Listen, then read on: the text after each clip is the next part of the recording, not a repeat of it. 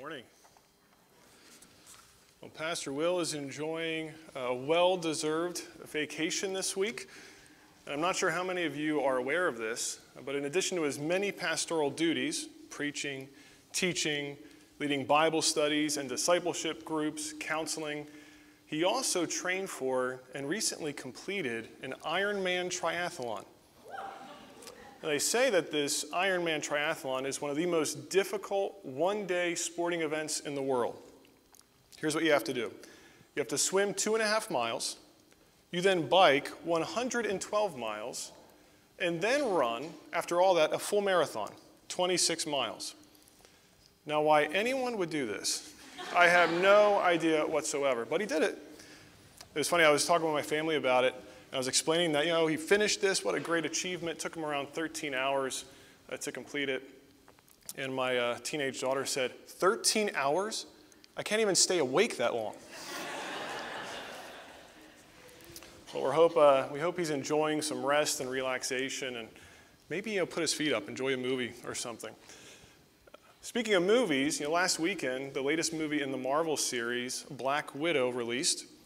And it was did the best that any movie has done since the pandemic hit. It brought in $80 million. But what was more interesting to me was that they brought in an additional $60 million streaming on Disney Plus. 75% of what they took in at the box office, they made via their streaming service. And we've seen this. I mean, I'm sure many of you have been streaming a lot during the pandemic, but we've seen this spike in streaming propelled by everybody you know, being home all the time. CNBC recently reported that Americans spent 44% more time streaming video in the fourth quarter of 2020 than they did the year prior.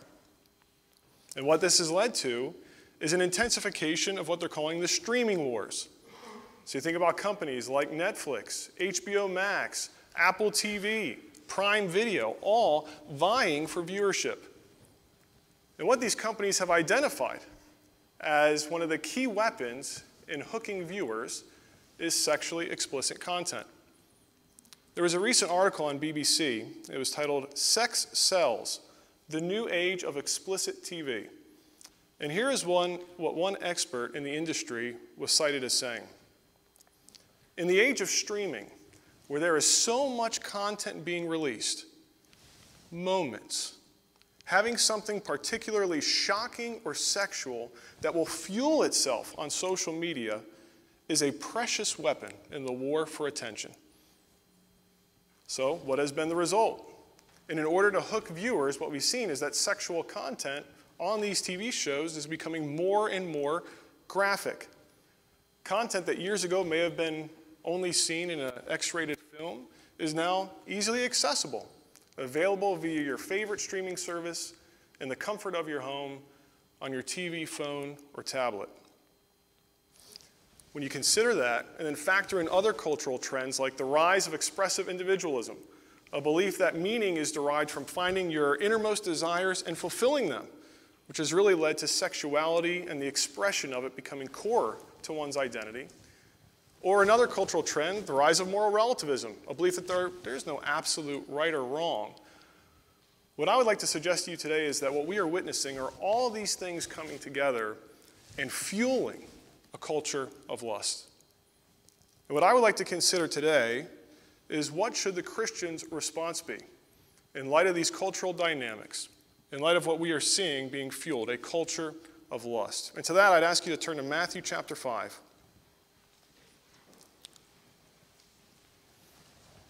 Very familiar passage of Scripture. It says Jesus' Sermon on the Mount.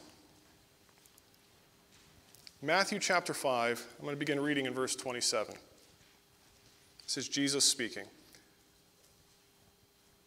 You have heard that it was said, You shall not commit adultery. But I say to you that everyone who looks at a woman with lustful intent has already committed adultery with her in his heart. If your right eye causes you to sin, tear it out and throw it away. For it is better that you lose one of your members than that your whole body be thrown into hell. And if your right hand causes you to sin, cut it off and throw it away. For it is better that you lose one of your members than that your whole body go into hell. As we consider this morning what the Christian's response should be in light of this culture of lust, I want us to see three main things. I want us to see that this is a matter of the heart. Secondly, that requires a militant response. And finally, that points us to our need for a merciful Savior. First, it's a matter of the heart. Jesus said, You've heard it was said, You shall not commit adultery. But I say to you that everyone who looks at a woman with lustful intent has already committed adultery with her in his heart.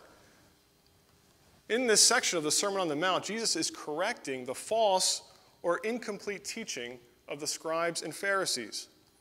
Now, they would have certainly taught people to obey the seventh commandment you shall not commit adultery. But their focus was strictly on the physical act. And Jesus here is saying something that would have been radical to the listeners. He is saying that you can break that commandment without ever physically touching anybody.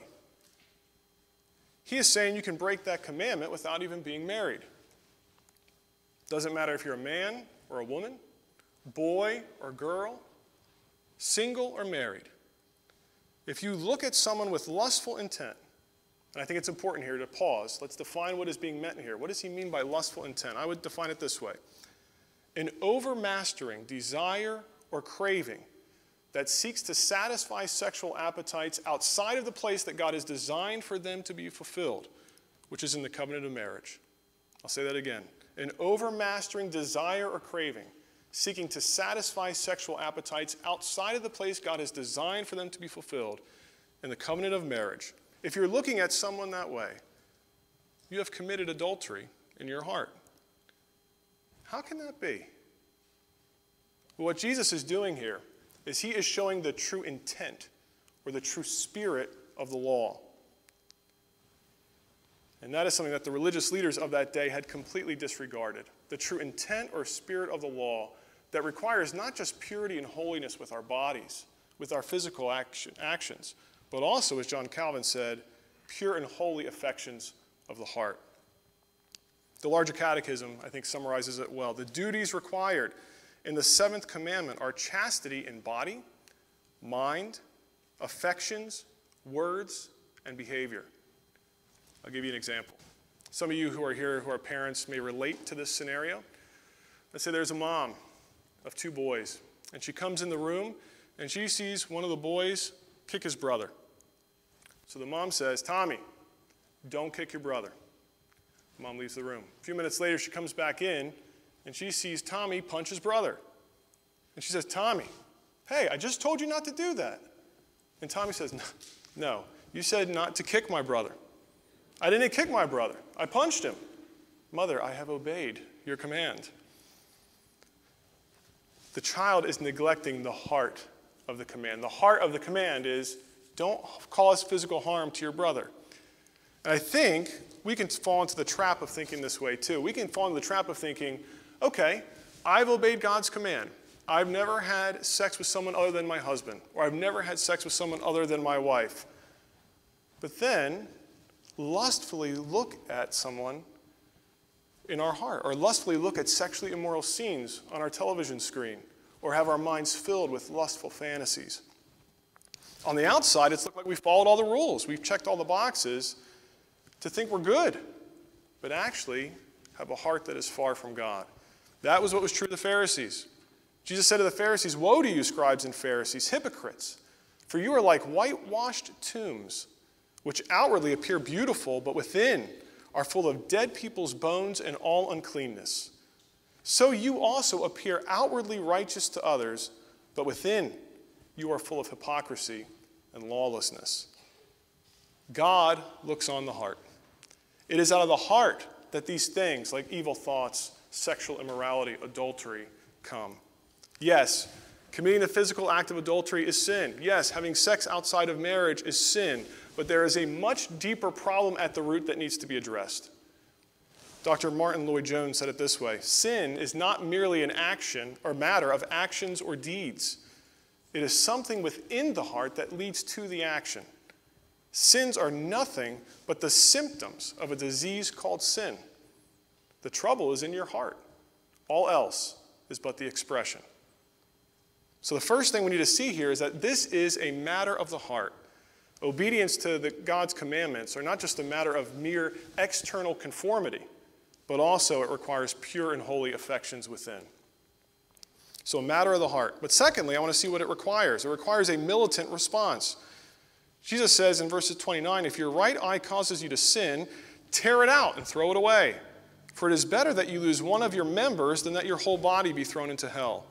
And if your right hand causes you to sin, cut it off and throw it away. For it is better that you lose one of your members than that your whole body go into hell.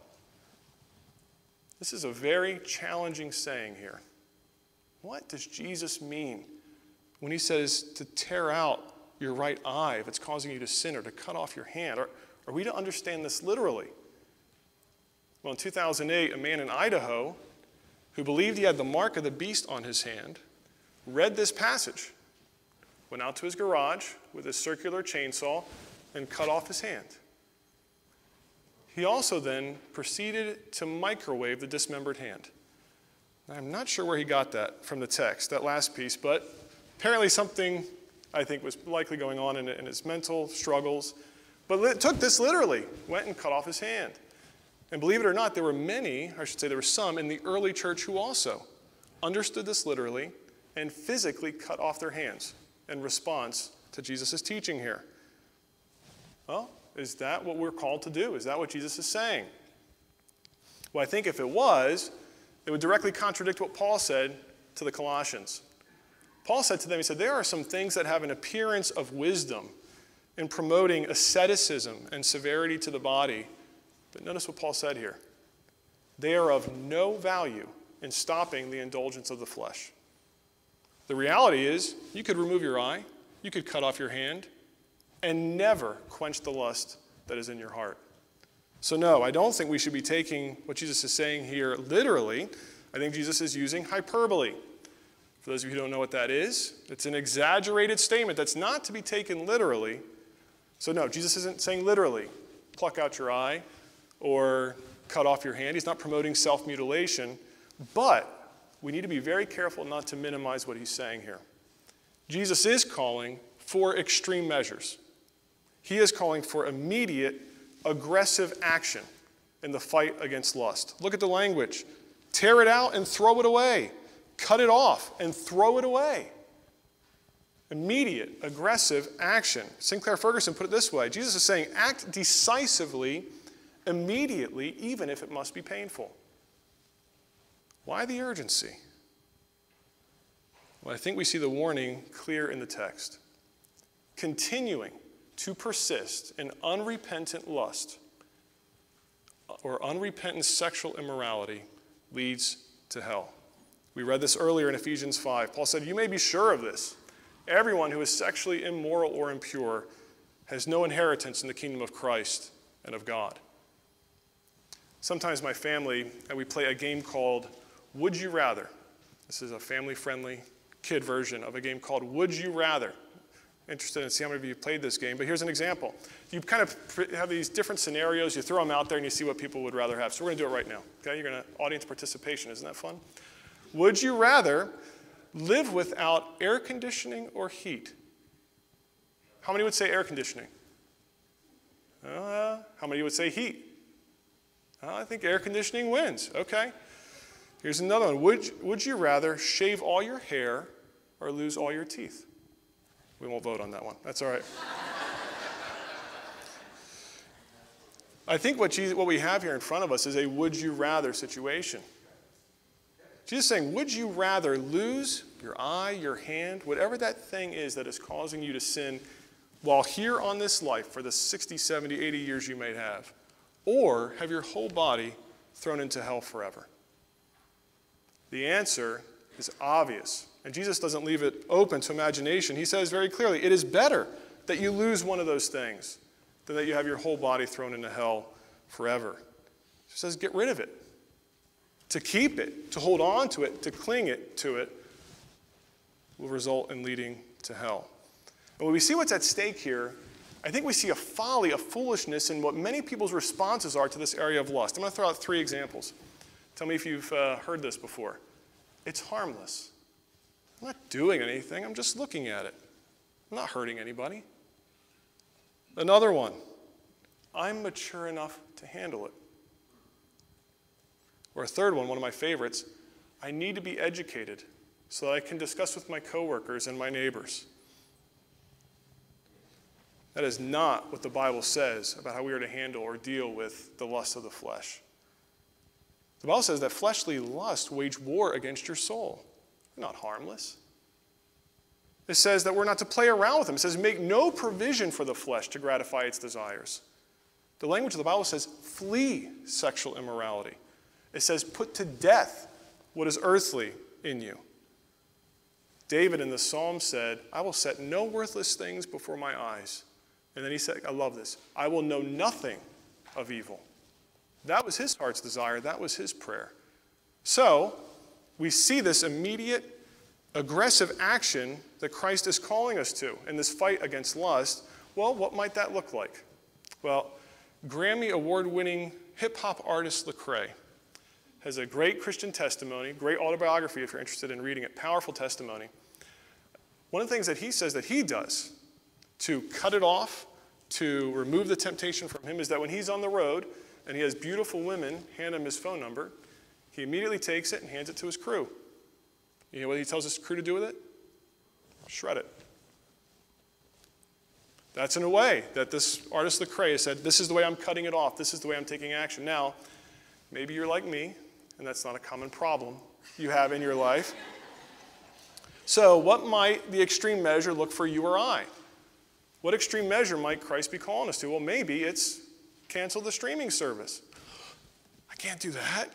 Well, I might miss out on so much. Again, what is better for you? Is it better to lose it or to lose your soul? What is the extreme measure Christ is calling you to this morning? Maybe it's you're keeping your phone and your computer out of your bedroom, not even bringing it in there if that's where your temptation lies. Maybe it's trashing that book that you're reading that's causing all these lustful fantasies to fill your mind and to be dwelled on.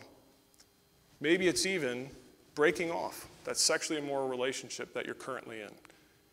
I think the mentality we should have and what we see here in Jesus' words is whatever it takes, whatever it takes, I'm going to remove this temptation that is keeping me from Christ.